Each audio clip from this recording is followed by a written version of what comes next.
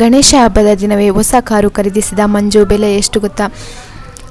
ಇದರ ಬಗ್ಗೆ ಸಂಪೂರ್ಣ ಮಾಹಿತಿ ಕೊಡ್ತೀವಿ. ಅದಕ್ಕಿಂತ ಮೊದಲು ನಮ್ಮ ಚಾನಲನ್ನು ಸಬ್ಸ್ಕ್ರೈಬ್ ಆಗಿಲ್ಲಂದಿದ್ದರೆ ಸಬ್ಸ್ಕ್ರೈಬ್ ಆಗಿ ಪಕ್ಕದಲ್ಲಿರುವ ಬೆಲ್ ಬಟಮನ್ನು ಕ್ಲಿಕ್ ಮಾಡಿ.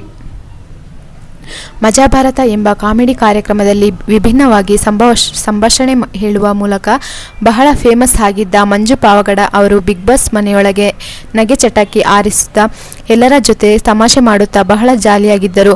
ಹೌದು, ಹುಡುಗಿಯರ ಜೊತೆ ಫ್ಲರ್ಟ್ ಮಾಡುತ್ತಾ ಬಹಳ ಸುದ್ದಿಯಲ್ಲಿದ್ದ ಮಂಜು ಅವರು, ನಿಜ ಜೀವನದಲ್ಲಿ ಎಷ್ಟು ಕಷ್ಟಪಟ್ಟಿದ್ದರು ಎಂದು ಕೇಳಿ ನಿಜಕ್ಕೂ ಎಲ್ಲರೂ ಕೂಡ ಭಾವುಕರಾಗಿದ್ದರು. ಹೌಸ್ ಮಂಜು ಪಾವಗಡ ಎಂ. ಒಬ್ಬ ಪ್ರತಿಭಾನ್ವಿತ ನಟರ, ನಟರಾಗಿದ್ದರು. ಒಂದು ರೀತಿಯಲ್ಲಿ ಇವರು ಕೆಸರಿನಲ್ಲಿ ಅರಳಿದ ಕಮಲ ಎಂದರೆ ತಪ್ಪಾಗುವುದಿಲ್ಲ. ಹೌದು, ಇವರು ಹುಟ್ಟಿದ್ದು ಕರ್ನಾಟಕ ಹಾಗೂ ಆಂಧ್ರ ಬಾರ್ಡರ್ ಆಗಿರುವ ಪಾವಗಡದಲ್ಲಿ ಮಂಜು ಅವರದ್ದು ತೀರ ಬಡತನದ ಕುಟುಂಬವಾಗಿತ್ತು. ಚಿಕ್ಕ ವಯಸ್ಸಿನಲ್ಲೇ ಮಂಜು ಅವರು ಬಡತನದ ಬೇಗೆಯನ್ನು ಅನುಭವಿಸುತ್ತಿದ್ದರು.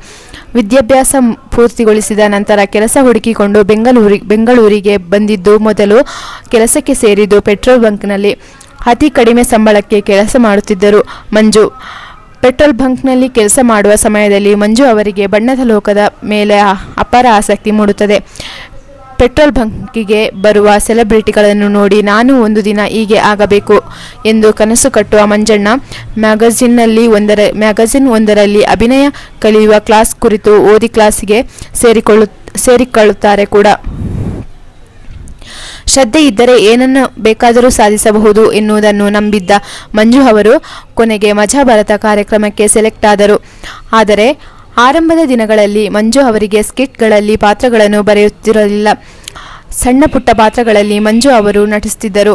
ಮಂಜು ಅವರ ನಟನೆಯ ಸಾಮರ್ಥ್ಯ ನೋಡಿ ಅವರಿಗೆ ಸ್ಕಿಟ್ಗಳಲ್ಲಿ ಪ್ರಮುಖ ಪಾತ್ರಗಳನ್ನು ನೀಡಲು ಶುರು ಮಾಡುತ್ತಾರೆ.